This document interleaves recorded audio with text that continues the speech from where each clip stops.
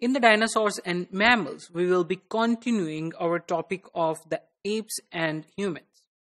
In the previous part of this topic, we have discussed that the earlier apes, how they were uh, developing some anthropomorphic morphology as well as anatomy.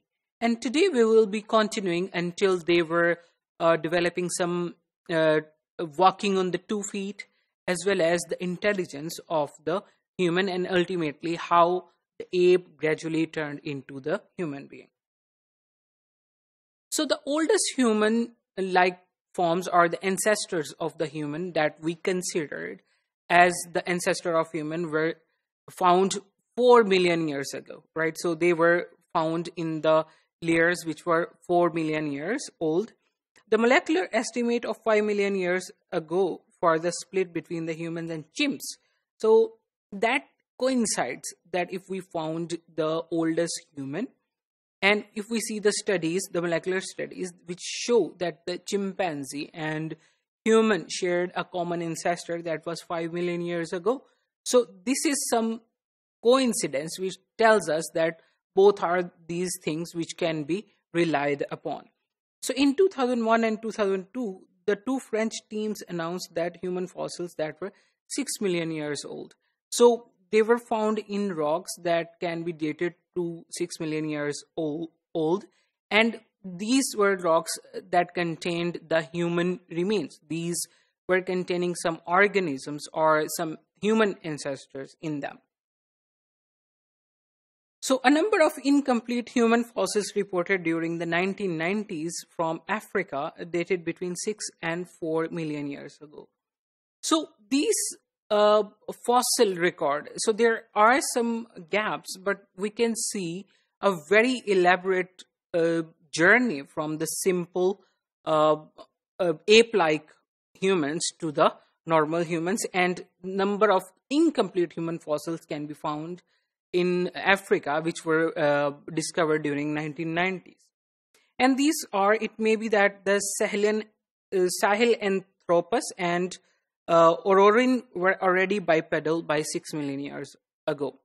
So these two uh, type of early human ancestors these were bipedal. What does the bipedal mean? That they were walking on the two feet.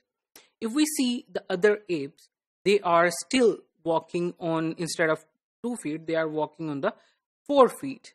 So how does it happen right? So the 6 million years ago these were the our ancestors that first started walking on the two feet an old, our oldest ancestor, that is spectacular skull of Sahelanthropus from Upper Miocene of Chad, over 6 million years ago. So you can see this uh, skull of uh, human ancestor. So the oldest clear evidence of bipedalism, how, uh, where do we see that there were some human ancestors? They were walking on the two feet. The human tracks in volcanic ash from the Tanzania uh, 3.75 million years ago. So uh, near uh, to the 4 million years ago, 3.7. 5 million year, a quarter, quarter million uh, year uh, is different from the 4 million years. And we can see the clear evidence of the bipedalism in the human ancestors. The oldest substantial skeletons of Praeanthropus afarensis that was 3.2 million years ago. So uh, there were some tracks. These were the, the tracks are sort of trace fossils. We will be discussing about the trace fossils, and the uh, then we see a complete skeleton of uh, an early human being, which tells us uh, its structure, its anatomy, its skeletal structure, tell us that this organism was walking on two feet instead of four.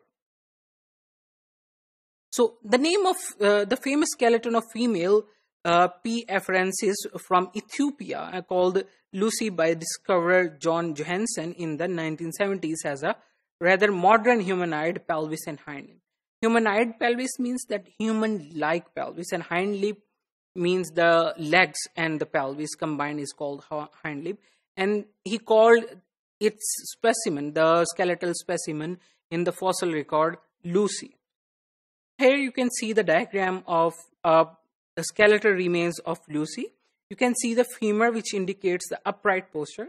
The pelvis is short and horizontal rather than long and vertical as in apes. The thigh bone slopes are towards the knees, and toes can no longer be used for grasping. So we can see that apes can grasp things with their toes, with their feet as well, but not in this case. So Lucy's brain, however, is small, only 415 centimeter cube of a height of 1 to 1.2 meter, not much different from a chimpanzee. So her brain was like chimpanzee, her posture was like chimpanzee, but she was walking on two feet. And then there comes the Australopithecus. Uh, Australopithecus continued to evolve in Africa from about 3 to 1.4 million years ago and giving rise to small, large, robust species. So there were some small species that evolved from it, and there were some large and robust species that evolved from it. And uh, some of them were uh, reached height of 1.75 meter, and brain capacity did not exceed 550 uh, centimeter cube, or rather ape-like measure. So brain, uh, we as we have discussed in the earlier topics as well, bipedalism is still there, and it has evolved first but the brain is still not evolved. And here you can see the skulls of fossil human in front and side views. The upper one, A, is Australopithecus africanus, and the lower one is the Australopithecus boisei. So you can see their uh, ape-like structure in their skulls as well. And there comes the Homo habilis. Uh, uh, lived in Africa from 2.2 4 to 1.5 million years ago, brain capacity of 630 to 700 centimeter cube in a body only 1.3 meter tall. So here the body stature is much more less, but still has more brain capacity than its ancestral apes. It used tools, that means the intelligence is evolving and it is supposed to be using the tools. And for over 1 million years ago, three, uh, for 1 million for over 1 million years, that means the course of 1 million years, three or four different human species lived side by side in Africa. So there was not a single species, but three to four different species living in different parts of Africa. And we know that Africa is vast and it inhabited all of those species in it. And some of those species gave rise to the modern human, as we can see the next Homo habilis the skull of fossil humans in front and side views and here you can see the homo habilis. The front and side view of the homo habilis you can see and it is much more human like as compared to the uh, skulls that we have earlier seen